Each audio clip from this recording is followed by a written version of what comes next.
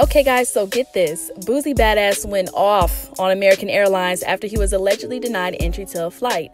The Baton Rouge bred rapper posted an extensive rant via Instagram on Saturday, June 8th, calling the airline racist.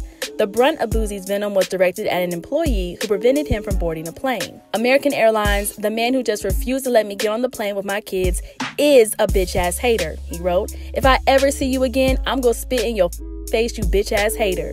The captain told you that we could be let on, but you did not want us on because of your jealousy towards me. I miss my pool party, you bitch ass hoe. You jealous, broke ass, pussy ass, bitch ass. You deserve a bullet in your face, you hoe ass, racist bitch. You look like a bitch ass mother.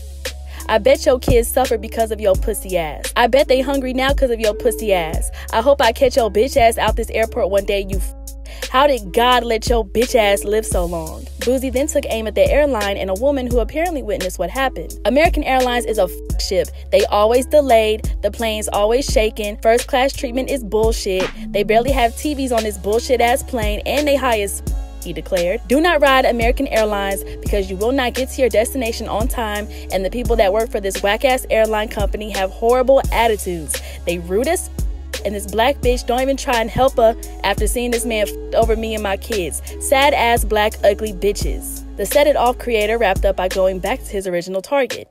I hope this hater have a head-on collision and die coming from your airport job with your pregnant wife in the car, you pussy, he wrote. I hope you bitches in these planes crash and burn. Hope I see you in the streets, pussy crash and burn hoes. And if anybody got a problem with what I said, suck my dick. See me in the streets and say something. So, what do you guys think? Did Boosie overreact or did he have a point? Let us know your thoughts in the comment section below. Hit that subscribe button and notification bell to stay up to date on all our new videos. And as always, make sure to keep it all the way locked to hiphopdx.com.